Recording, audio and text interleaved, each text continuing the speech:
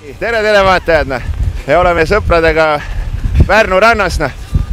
lõpetasime mängimised, saavutasime mõlemad viienda-kuuenda koha. Teie mängu ei näinud, kuidas läks, mille taha jäi?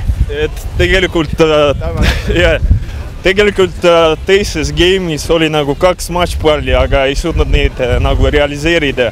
mina nagu tegin vea, olin võrgus ja siis kõik läks teistmoodi.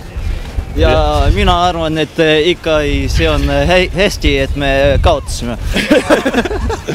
sest nagu te näete, Pärnu ei ole nagu suur pealinn, aga äh, mingi, ma ei tea, mis. no kuidas teil läks? no meil, meil läks natukene kehvemini, et, et äh, ikkagi ka ei, ei, ei saanud isegi game'i võitu kirja, nii et vastane, vastane suutis seda tuurt natukene paremini kasutada ja võit, võitis kindlalt ära. vastane oli sümpaatne ja mängis üle lihtsalt. natuke võib-olla jäi õnne taha ka. Siukse ilmaga on väga raske leida motivatsiooni, mängutahet, noh. kust teie selle leiate?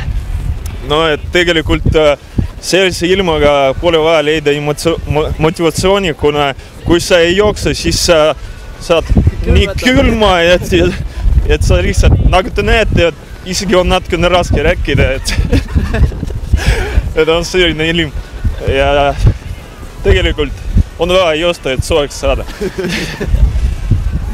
kuidas teil sellega?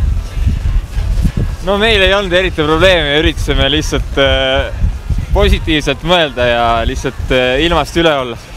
jah. kuidas te suhtlete sellest, et üldse ei ole nagu pealtvaatajat, et rahvusvaheline turniir ja kedagi ei ole, millegipärast ei tea.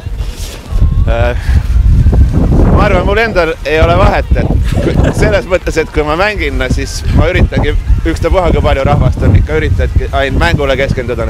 et võib-olla on siin lihtsam mängule keskenduda. Äh, kuidas teil edasised plaanid on?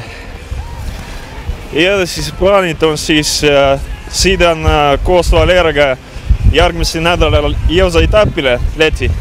Ja siis Eesti meistrivõistlused loodame, et selline ilm meil tu- ei tule. ja et Pärnu ikka võtab oma ja tuleb nagu päike.